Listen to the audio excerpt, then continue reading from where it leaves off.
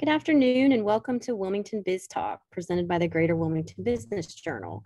Today is Veterans Day, so we're going to be talking with a couple of veterans who are also involved in providing resources to veterans who are wanting to start their own businesses or become entrepreneurs. So, um, but first, before we talk to them, we're going to have a message from our sponsor. Hello, I'm Ann Gardner, CEO of Cape Fear Realtors. Realtors support this program's efforts to connect our community in meaningful dialogue with actionable insights.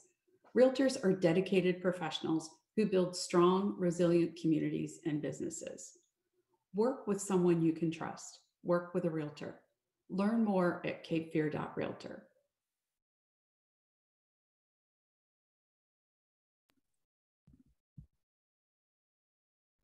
Welcome back to Wilmington Biz. We are here today with Avery Washington, City Ambassador for Bunker Labs, and Chayse Roth, founder and president of Veteran Business Council. And um, we're going to be talking today about some of the issues that um, veteran, veteran business owners or people who want to start businesses who um, have served in the military, some of those um, challenges they face. Uh, first of all, thank you, Avery and Chayse, for being on with us today. Thanks for having me. Appreciate it. Likewise. Thank you for having me. I appreciate it. Thanks. And so, uh, my first question is what are some of those challenges that um, people coming out of the military face when they're trying to find employment or start their own businesses? And if you want to um, start, Avery, um, just let you know, giving us an idea of what those are. Certainly. I'd say the two biggest things are network, right? You've been immersed in this specific environment and friend group and, and even group of colleagues over the years. And you feel like you don't know the people who can help you transition into business or, or the private sector. And then the other aspect of it is translating your experience and talents into what you're best suited for, most capable of as you transition out of the military as well. Those probably the two biggest challenges that I see. What about you, Chayse? What do you think? Well, I, I absolutely agree with Avery's first point. Uh, network is is huge, uh, and then industry uh, experience. If uh, someone's leaving the military and, and they want to go into business, there's a good chance to have zero industry experience in addition to having uh, no network within that industry or within the community in general. And uh, both of those things contribute to an additional challenge, which is uh, sourcing funding to start a business. Uh, it's tough to get approved for funding without industry experience and without the proper uh, connections to facilitate that. So uh, those are those are the biggest challenges I faced uh, when I left active duty: the network, industry experience, and then access to capital. Okay. And Avery, how did you tell us a little bit about Bunker Labs and how you became involved in it? Certainly. So, when I was transitioning out of the military, I signed up for a program for SOF veterans. It's called the Honor Foundation. And in doing that, I crossed paths with Catherine Bruner, who was the previous Bunker Lab City Ambassador. And she told me about what she was involved in. And honestly, I just started following her online and I started uncovering all these different groups, right? The Port City Young Professionals, Network for Entrepreneurs in Wilmington, uh, Cape Fear Commercial Real Estate Women, all these groups. And, you know, as a single childless person getting out, I had the time to go to wherever I wanted.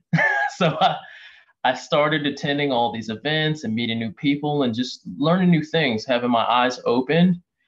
And when Catherine ended up uh, moving, we talked a little bit about me taking over for her as the city ambassador. And that was kind of how it all started with me getting into Bunker Labs. And, and granted, I'm compacting what happened over the course of maybe two years into 10 seconds of explanation. right. Right. And so for for Bunker Labs, that's um, I, I, saw some of the things that you guys have done in the past is have, have networking events. Absolutely, absolutely. So uh, prior to me taking over, and, and nationally, they had something called Bunker Brews and Bunker Connects. All right. And then what we've transitioned more to are Bunker Connects, where I'll typically have a theme for the event. So we started out with, you know, overcoming setbacks in business, raising capital, how to properly structure your business. Uh, we also had the founder of Southern Elegance Candle Company come from Fayetteville. She spoke about her experiences, and she's a military spouse. Uh, just talk to their experiences and and the things that they've encountered in either transitioning to the private sector or starting their own companies. Okay. And then tell us, Chayse, about the uh, Veteran Business Council and why you decided to um, start that organization. I'd love to. Uh, the idea for the Veteran Business Collective uh, hit me sometime in 2020, uh, probably late 2020. Um, and we held our first meeting actually a, a year ago this month. And uh, Avery Washington was one of our first uh, attendees, it, so turns out. Um, and the, the gap I, I saw was uh, I'm a veteran business owner and I didn't know who all the other veteran business owners were in the in the area. Um, and, and Bunker Labs, uh, they had a short break uh, for a little while there, and uh, they do uh, great things and they provide awesome educational resources and, and all sorts of things. Um, and they really cater to the the startup market, uh, which is great. But what about the guys that have been in business for a long time? I didn't I didn't know who they were. I couldn't find. And uh, so I called Avery and I called some other guys and I said, "Hey, this is what I'm thinking about doing. What do you guys think?" They said, "Sure, let's give it a try." So uh, we scheduled our first meeting and we had uh, like 15, I think, folks show up. Um, during COVID, which was pretty cool. Uh, and so we're like, maybe there's something to it. And we did it again. Uh, then you fast forward to March of uh, this year, and we, you know, finally decided it was time to file for 501c3 status and got that done. Um, and it's just continued to evolve. We've got close to 100 members, uh, a chapter in New Bern, Asheville, and one in Johnson City, uh, Tennessee, that's going to be coming online here very soon. Um, you want me to keep going? It looks like you might have dropped off.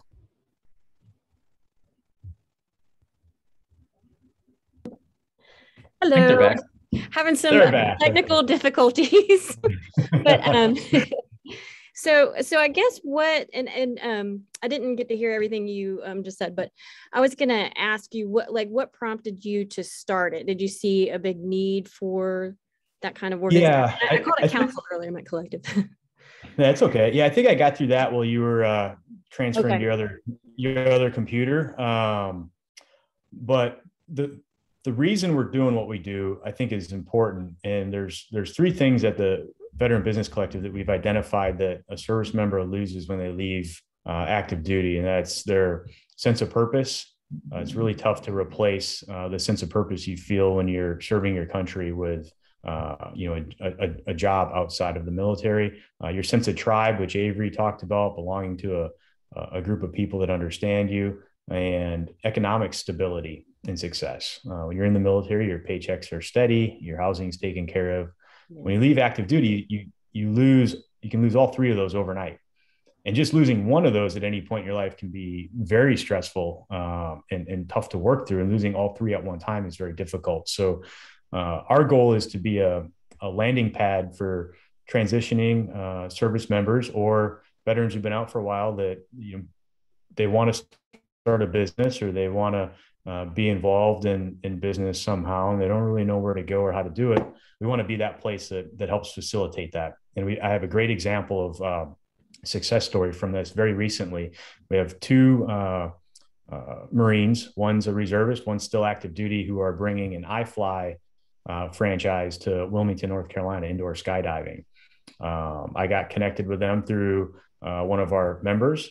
Uh, we had lunch and we identified a bunch of needs that they had, such as uh, uh, market, uh, marketing services, um, raising capital, which is a huge hurdle to overcome, um, insurance needs, all these different things. And within 15 minutes, they had warm intros uh, to folks that could solve all those problems for them, provide all these services, and who happen to be other veteran owned companies, um, as well as take them around and introduce them to everybody in the city that they need to be introduced to to be successful in the launch of their business. Uh, so, being that place where people can come and tap into our, our well-established network and find resources that that actually do facilitate their startup process is uh, is pretty cool. Okay, and um, Avery, how do you reach veterans who might need your help? So the the biggest way that I do it, honestly, is just by staying involved as possible in a number of veteran groups throughout the Onslow and New Hanover County areas, pretty easily accessible through social media, whether it's Instagram or Facebook. And then honestly, just just paying attention to you know commonly observed needs right? I i still deal with a number of folks on active duty especially as a, a real estate agent and people that i served with and and being involved with the veteran business collective. So i kind of get to observe you know hey this is something that i see people needing and i make an effort to kind of fill that gap or connect them with people that can best assist them as well. So just being flexible and connecting people with either the the relationships or the resources that they need to solve issues that they're having as they transition or maybe just try on a new venture. How did you get involved in real estate? It was a it was an, a slow evolution. so the first house I bought was a duplex. So I guess I started by default. And the next year, a friend and I, a friend and I bought some more multifamily, and we didn't really know what we were doing. We just were single with and good at saving, and we picked something that we didn't lose our shirt in. And so, of course, you know, we think we've got it all figured out. So we keep investing and still didn't lose everything. right? Like, and 08 was firmly behind us and not in our memory as as 20 something year olds involved investing in real estate. And as I was getting out of the military, I had, we ended up selling the units we'd bought together, and I gave all the money to him, which is a terrible idea. Just this fluid verbal agreement, like, yeah, you'll pay me back. It, it worked out. It's not a horror story, but I was on my last deployment. I had six months left, and he paid me out of the investment I made with him and he sent me more money in that one transfer than I made that year. And I thought maybe I should focus on this. That was literally that was literally it. So I came home from that deployment. I had three months left on active duty. I signed up for pre-license training literally two days later. I got licensed a month before I got out. I started working at a firm two weeks before I got out, and I just jumped in head first. Okay. And how about you, uh, Chayse? What is your um, current? What are your current businesses or business that you're working on? Um, well, I spent a lot of time uh, working for uh, the Veteran Business Collective. Um, you know, just as Avery does for for Bunker Labs, but it's uh it's all volunteer work. We don't pay anybody for anything, so um, all our social media is managed by volunteers and everything. Um, and then I've got a cleaning and restoration company called Sano. Uh, so like water damage, mold remediation, that sort of thing. Me and my brother-in-law, who's also a Marine, uh, we've owned and operated that for the last uh, six and a half years. Um, and then I've also got a uh, construction company with a couple uh, partners who are part of the VBC as well. we do like light civil, clear, grading, clearing, that kind of work. Um, and we're dabbling in land development as well it seems like a lot of the skills you would learn in any kind of parts of the military branches of the military would translate to uh, well to some of you know the the businesses that people get into. Do you, did you find that to be true? And is it just a matter of um, convincing people of that or what do you think? Absolutely yeah, go ahead avery. Oh forgive me. So i'd say absolutely. I think that the challenge for most people is they get stuck with their experience and applying it in a certain field or industry. So they think because it's only in that lane, it's not relative to other aspects of business. But at the core of it all, there are some fundamental habits or characteristics that translate across the board, right? Absent being really creative, depending on what you do. But for the most part, running an organization well, communicating effectively, planning, forward thinking, right? All of those things are definitely necessary to be successful you know, in the military or the private sector. Do you find that to be true as well, Chayse?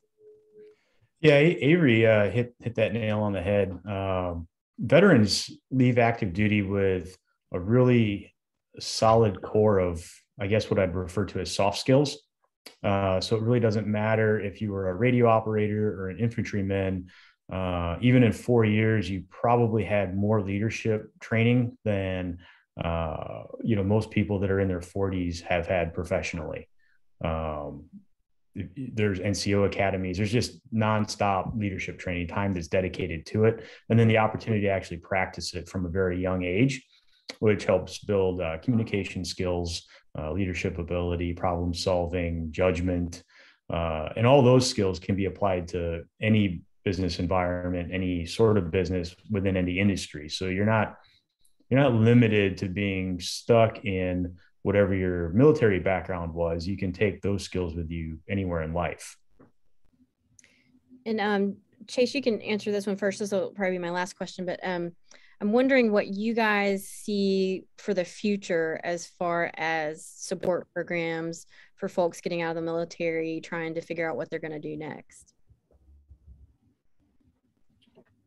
for the future for support programs well i think organizations like bunker labs and the veteran business collective uh, are going to play a huge role in that and continue to uh, i'd like to see the veteran business collective you know scale uh, into a national level program we're already multi-state here in the southeast uh, clearly people are finding value in what we're doing because they're they're signing up they're paying for their membership uh, i think that's going to be a huge part of it i don't think it's uh, prudent for the veteran community to wait on the government to solve veteran related problems.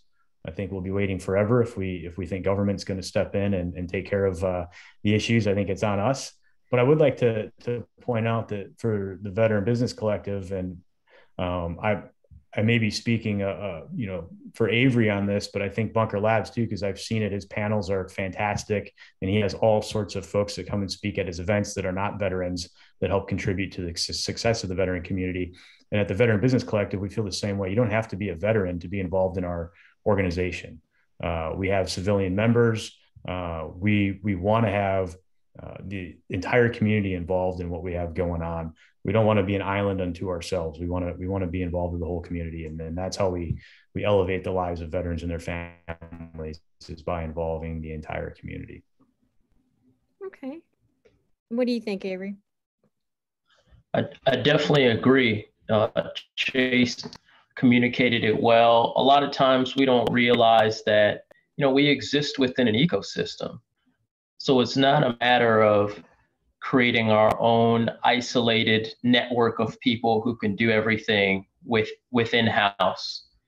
It's more so us understanding how to bridge the gap between these organizations in need for experience or personnel or certain types of resources and the individuals that possess them, whether it's in the private sector or the, the veteran or military spouse community and because we've been on both sides of that fence, we have a unique understanding of being able to say, hey, you know, you may have been in infantry for X amount of time, but you have all these skills that these people are in desperate need of, and they're paying people absurd amounts for having. Have you ever thought about, you know, working in a pharmaceutical company? And the answer is probably no. but us recognizing both sides of that, saying, hey, you would actually be really good in this place or in this position. And on the other end of it to the organization, right? Because I'll try to theme the Bunker Labs events. So, uh, like we're planning one for the beginning of next year, and I'm I'm aiming for it to be entrepreneurship through acquisition, right? Because everybody thinks about starting their own company, but not a lot of people think about buying a company and having that be a form. So trying to get, you know, experts, both veteran and in the private sector to connect to see where all of these uh, similar traits or needs lie so that they can communicate better and and collaborate more often. Okay. And we are going to have a story in our November 19th edition of the Greater Wilmington Business Journal on veterans involved in the hospitality industry. So you guys should look out for that. And I want to thank you, Chayse and Avery, for um, being on today. Uh, we really appreciate all the information you've shared. And um, I hope you have a good Veterans Day. Thanks. Hey, Cece, what, can I add one more thing real quick while we're still Sure. on? Sure. All right, we have our uh, one year anniversary and our Veterans Day event for the VBC today. Okay. Uh, it's at Flying Machine Brewery. It's being catered by Mission Barbecue. It's from 5 to probably about 8 p.m. Um, you don't have to be a member at our events. Everybody can attend as a guest. We are open to non uh, non military members as well. So the invite's out. Uh, you can find us on Facebook and LinkedIn. All our events are always posted on Facebook and LinkedIn. And um, a special thank you to you for having us on and allowing me to have this minute here to promote our event tonight and direct people to us. And uh, a special thank you to Signal Fire Media for hosting our podcast and uh, and providing all those other services for us that without we wouldn't uh, no one would know who we are. So thank you so much uh, to you for that. Uh, appreciate it. Thanks, Chayse. And that reminds me, you can um, access this um, discussion on podcast platforms, Spotify, and others. Um, and we'll also be on Facebook. So thanks again, guys. And again, have a good Veterans Day. Bye bye. Thank you. Have an excellent day.